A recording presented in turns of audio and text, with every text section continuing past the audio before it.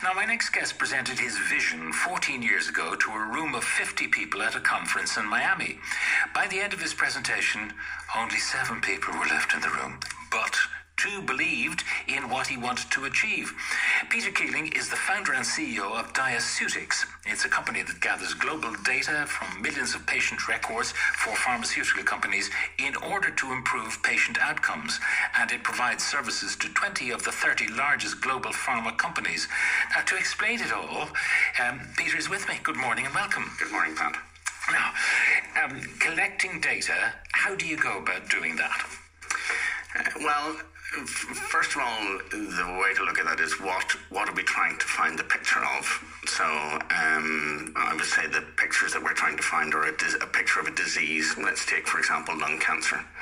And lung cancer is a disease. Um, there are multiple sources for how that information will flow to you. Some of it will come from testing laboratories, some of it will come from insurance companies, some of it may come from patients themselves if the patients are searching for information. And the right way to put that information is to gather from multiple sources and interlace this information on top of each other to get a comprehensive picture, a 360 degree so, view. So it could be um, someone who has had lung cancer and who's been cured, but you need to know at what stage were they diagnosed, Absolutely. what might the cause of that cancer have been, and so on. So it's not just cancer or no cancer? No, no, it's it's a, a testing journey. So I, I think a good a good statistic is for the majority of lung cancer patients today, and I'm talking both in Ireland and the United States and Europe, you probably have a journey that goes from cough to proper treatment of about four years. There might be 10 testing events along that journey. And some of those testing events, as you know from ourselves or from people that we know, are often very difficult. You know, the turnaround time for testing might be too long. Uh, you have to wait a long time for the answer, etc. So we're trying to capture all of that information to get a, a real world picture of what is going on at a disease level. So, for someone who's searching for information, um, and you've done this big picture stuff, but you also have, because it's big data, you have the minutiae. Can you find uh, an existing patient anonymized who might mirror the journey that this inquirer is on. Yes, uh, it, it is about it is about finding population level observations. I, I, I, kind of think of the way the maps that we put, about, put together a bit like a subway map. Um, lots of patients are traveling throughout the subway and they're stopping at various stations, but there's always a better route. There's always a better and optimal route across that subway. And what we're trying to do with the information is, first of all, to find out where are the patients gathered, where are the stations that they're stopping at, and can we point them towards a better route, towards the right treatment faster. And in lung cancer, for example, there's really no impediment for those patients taking four to five years to get the right treatment. We, we, we, should be able to do that in months, five months, six months. And the way to do that is to make sure that patients are being tested more appropriately, sending them through different stations, sending them to, to different laboratories to make sure they're getting the right test. So you, you would therefore be able to provide that subway map for a patient and say, if this is where you are and we know where you're going, hopefully to a successful treatment, uh, these are the stops along the way, and you can accelerate through that process rather than go to Bayswater and then change onto the Northern Line and go somewhere else and somewhere else. You go direct on the Circle Line and, and get that, to your destination. That, is right. And, and, you know, in five years' time, that information may and should be available to individual patients. Today, we're trying to work with other system providers so that they can intervene. Somebody has to intervene and make a change. So, for a treating doctor, an oncologist who is faced with this, we're picking lung cancer, but we could pick any number of, of yeah. conditions. Does that does a doctor have access to this kind of information? What's the pathway for that doctor?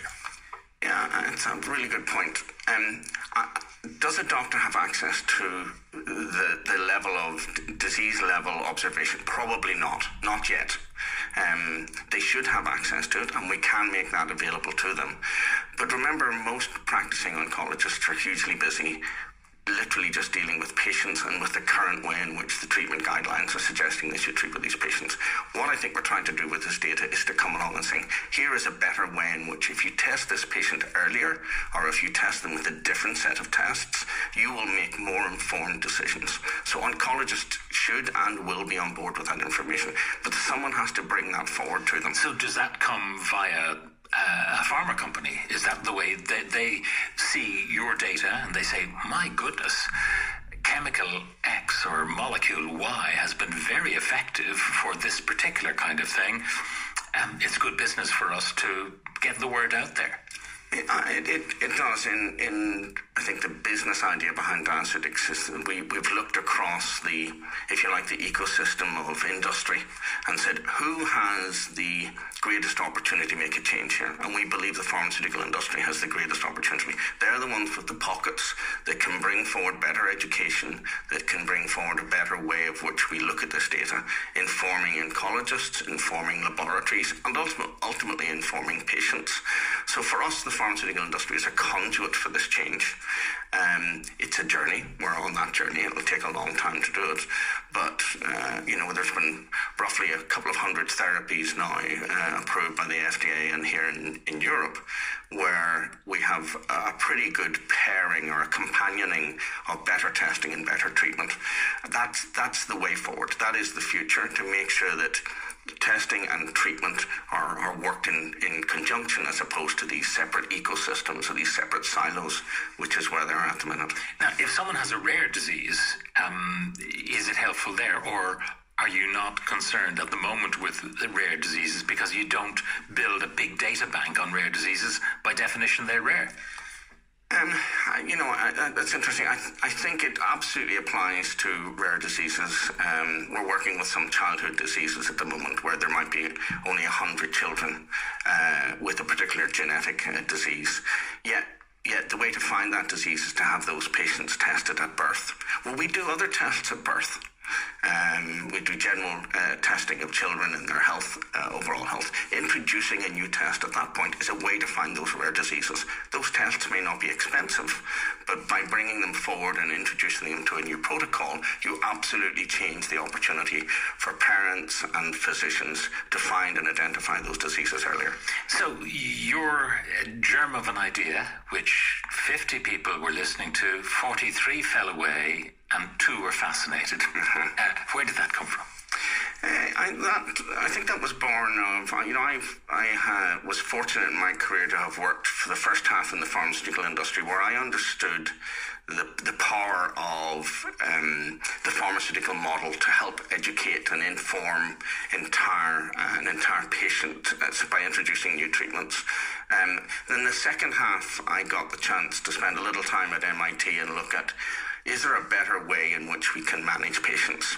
And the idea w- was born of it's better to find and treat patients early than to uh, kind of treat them late in their journey. There's a better economic uh, model, there's a better treatment model as a result of that.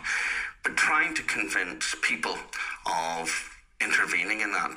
Somebody has to take responsibility for that. So the idea was to put together a, a, financial model which spoke to the pharmaceutical industry and said, by becoming more involved in the, in the testing as well as just the treatment, um, engineering these together will have a better economic outcome for you in the pharmaceutical industry as well as well as a better healthcare outcome for us in society. Was it a hard sell? It, it, it was a hard sell. Uh, 13 years ago, I think people looked, you know, the, the two people in the room that, that approached uh, were, I think the one comment was, we're thinking about this. Um, and I, I think it, it, at the time it felt as if I was either crazy or mad or uh, an apostle. Um, but you know what has happened in the in the 13 years? I think there's been an awakening throughout the pharmaceutical industry, an awakening by the medical community that actually I mean, this is a good idea. I suppose uh, you know big data has become a very powerful tool in all sorts of areas outside medicine. So it's an idea you are ahead of the game, but it is big data you're dealing with. it, it is big data, and I, I think we need to do a better job generally about a job in industry of explaining why this data is important. It's not just about collecting anonymized information and hosting it. It's about using that to make informed choices. If you think of the, you know, what Vicky Phelan re- re- exposed and what Gabriel Scally uh, de- described was a breakdown in, in a cancer system. And that breakdown was very much born of evidence of where patients were not being tested appropriately, were they getting the wrong answer, they're getting the answer too late, or the sample is being shipped halfway across the planet. It's only the data will reveal that level of understanding. Transpose that to every other disease, and they start to make some informed choices about how we can fix that. And how many diseases are you active in? We're 138 diseases that we're looking at at the minute. Not all of those diseases have we fully mapped, but about 30 of those diseases, we have a pretty good view of where those subways, uh, those subway stops are. Well, what a brilliant idea it, it was. And uh, Peter, thank you very much for joining us this morning.